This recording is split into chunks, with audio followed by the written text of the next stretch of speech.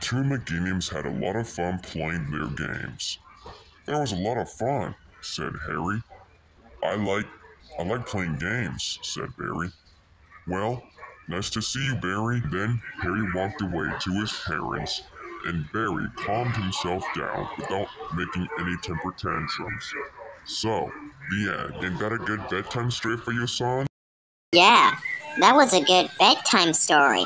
Thanks for reading me my mature dad. You want me to turn off the lights so you can have your nightlight on? Mm-hmm.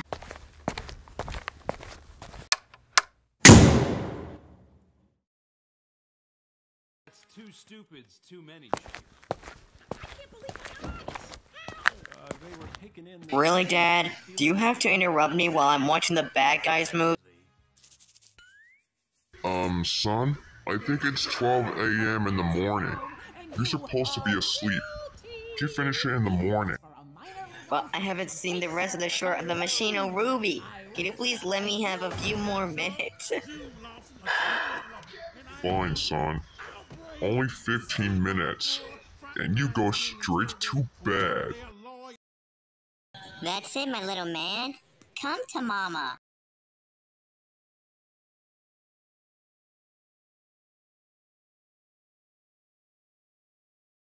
Hey, honey, how's it going?